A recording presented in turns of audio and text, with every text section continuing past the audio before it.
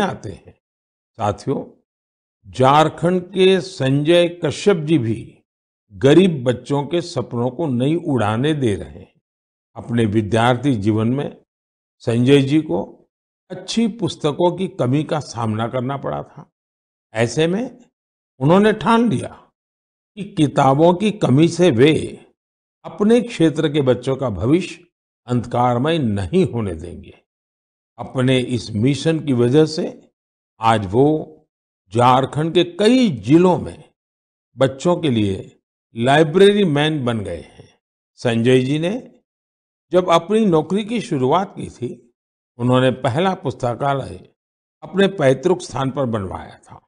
नौकरी के दौरान उनका जहाँ भी ट्रांसफ़र होता था, वहाँ वे गरीब और आदिवासी बच्चों की पढ़ाई के लिए लाइब्रेरी खोलने के मिशन में जुट जाते हैं।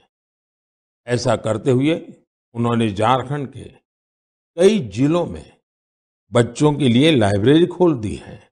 लाइब्रेरी खोलने का उनका यह मिशन आज एक सामाजिक आंदोलन का रूप ले रहा है। संजय जी हो या जतिन जी, ऐसे अनेक प्रयासों के लिए मैं उनकी विशेष सराहना करता हूँ। मेरे प्यारे देशवासियों मेडिकल साइंस की दुनिया ने रिसर्च और इनोवेशन के साथ ही अत्याधुनिक टेक्नोलॉजी और उपकरणों के सहारे काफ़ी प्रगति की है। लेकिन कुछ बीमारियाँ आज भी हमारे लिए बहुत बड़ी चुनौती बनी हुई है। ऐसी ही एक बीमारी है मस्कुलर डिस्ट्रॉफी। ये मुख्य रूप से एक ऐसी आनुवंशिक बीमारी है जो किसी भी उम्र में हो सकती है। इसमें शरीर की मांसपेशियाँ कमज़ोर होने लगती हैं। रोगी के लिए रोज़मर्रा के अपने छोटे छोटे कामकाज करना भी मुश्किल हो जाता है। ऐसे मरीजों के उपचार और देखभाल के लिए बड़े सेवा भाव की ज़रूरत होती है। हमारे यहाँ हिमाचल प्रदेश में सोलन में एक ऐसा सेंटर है जो मस्कुलर डिस्ट्रॉफी के मरीजों के लिए उम्मीद की नई किरण बना है। इस सेंटर का नाम है मानव मंदिर। इसे Indian Association of Muscular Dystrophy द्वारा संचालित किया जा रहा है। मानव मंदिर अपने नाम के अनुरूप ही मानव सेवा की अद्भुत मिसाल है। यहाँ मरीजों के लिए ओपीडी और एडमिशन की सेवाएँ तीन चार साल पहले शुरू हुई थी। मानव मंदिर में करीब 50 मरीजों के लिए बेड्स की सुविधा भी है। फिजियोथेरेपी, इलेक्ट्रोथेरेपी और हाइड्रोथेरेपी के साथ साथ योग प्राणायाम की मदद से भी यहाँ रोग का उपचार किया जाता है। साथियों, हर तरह की हाईटेक सुविधाओं के ज़रिए इस केंद्र में रोगियों के जीवन में सकारात्मक बदलाव लाने का भी प्रयास होता है। मस्कुलर डिस्ट्रॉफी से जुड़ी एक चुनौती। इसके बारे में जागरूकता का अभाव भी है। इसलिए यह केंद्र हिमाचल प्रदेश ही नहीं देश भर में मरीजों के लिए जागरूकता शिविर भी आयोजित करता है। सबसे ज़्यादा हौसला देने वाली बात यह है कि इस संस्था का प्रबंधन मुख्य रूप से इस बीमारी से पीड़ित लोग ही कर रहे हैं।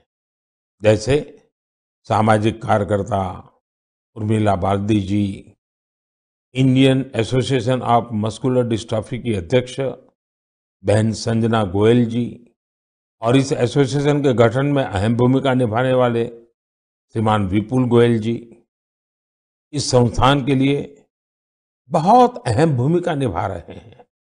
मानव मंदिर को हॉस्पिटल और रिसर्च सेंटर के तौर पर विकसित करने की कोशिशें भी जारी हैं। इससे यहाँ मरीजों को और बेहतर इलाज मिल सकेगा। मैं इस दिशा में प्रयासरत सभी लोगों की हृदय से सराहना करता हूँ।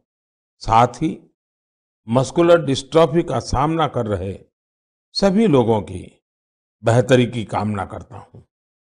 मेरे प्यारे देशवासियों, आज मन की बात में हमने देशवासियों के जिन रचनात्मक सामाजिक कार्यों की चर्चा की वो देश की ऊर्जा और उत्साह के उदाहरण है। आज हर देशवासी किसी न किसी क्षेत्र में हर स्तर पर देश के लिए कुछ अलग से काम करने का प्रयास कर रहा है। आज की चर्चा में ही हमने देखा जी ट्वेंटी जैसे अंतर्राष्ट्रीय प्रयोजन में हमारे एक बुनकर साथी ने अपनी ज़िम्मेदारी समझी, उसे निभाने के लिए आगे आए। इसी तरह कोई पर्यावरण के लिए प्रयास कर रहा है। कोई पानी के लिए काम कर रहा है? कितने ही लोग शिक्षा, चिकित्सा और साइंस टेक्नोलॉजी से लेकर संस्कृति, परंपराओं तक असाधारण काम कर रहे हैं। ऐसा इसलिए क्योंकि आज हमारा हर नागरिक अपने कर्तव्य को समझ रहा है। जब ऐसी कर्तव्य भावना किसी राष्ट्र के नागरिकों में आ जाती है तो उसका स्वर्णिम भविष्य अपने आप तय हो जाता है। और देश के ही स्वर्णिम भविष्य में हम सबका भी स्वर्णिम भविष्य है। मैं एक बार फिर देशवासियों को उनके प्रयासों के लिए नमन करता हूँ। अगले महीने हम फिर मिलेंगे और ऐसे ही कई और उत्साहवर्धक विषयों पर ज़रूर बात करेंगे। अपने सुझाव और विचार ज़रूर भेजते रहिएगा। आप सभी का बहुत बहुत धन्यवाद।